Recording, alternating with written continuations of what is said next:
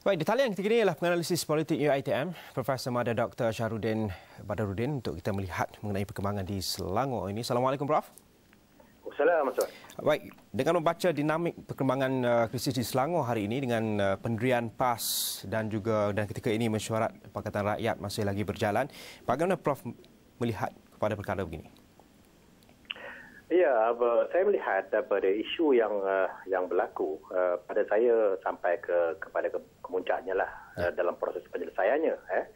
Apabila PAS telah pun membuat keputusan yang bagi saya keputusan itu penuh hikmah. Eh. Walaupun ada beberapa perkara yang berkemungkinan uh, bertentangan dengan uh, dengan uh, keputusan yang telah dibuat oleh DAP uh, dengan uh, dengan uh, PKR uh, iaitu untuk uh, memilih cuma seorang uh, menteri besar iaitu uh, Datuk Seri Wan Azizah sebagai sebagai menteri besar pilihannya.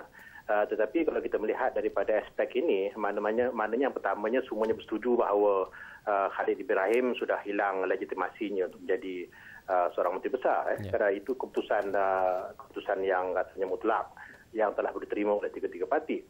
Isunya sekarang adalah uh, bagaimana apa dia uh, uh, soal menghadap dengan Tuanku Sultan Selangor yeah. uh, untuk memastikan sama ada uh, ianya dijalankan uh, dengan memberikan uh, satu nama ataupun dua nama kepada Tuanku Sultan. Dan memahami dengan uh, pendirian selama ini yang telah pun dinyatakan dan juga memandang kepada penyelesaian krisis ada juga yang hebat memperkatakan tentang kemungkinan uh, pilihan raya negeri disifatkan sebagai jalan penyelesaiannya Prof melihat bagaimana Uh, saya kira uh, uh, dissolution ataupun pembubaran Dewan Undangan Negeri itu sepatutnya adalah merupakan pilihan yang terakhir ya. Yeah. Uh, melainkan sebagai contohnya kalau kedudukan antara uh, parti politik uh, pembangkang dan juga uh, kerajaan itu dia punya marginalnya agak apa agak agak slim. Tetapi uh, kalau kita melihat uh, ketiga-tiga parti iaitu PAS, PKR dan uh, DAP mempunyai lebih kurang 43 kerusi. Okay. dan yang selebih itu 13 kerusi. Jadi satu jangka yang jauh. Jadi kerana itulah uh, bagi saya soal pembubaran Dewan Undang Negeri bukan pilihan yang terbaik.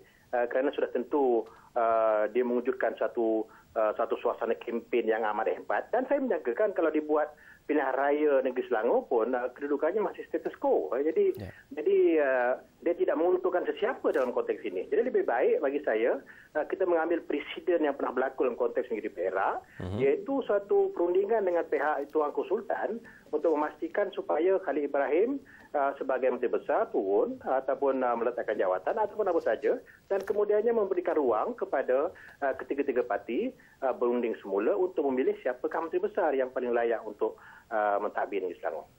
Okey, baik. Terima kasih Prof dengan ya, analisis berkenaan.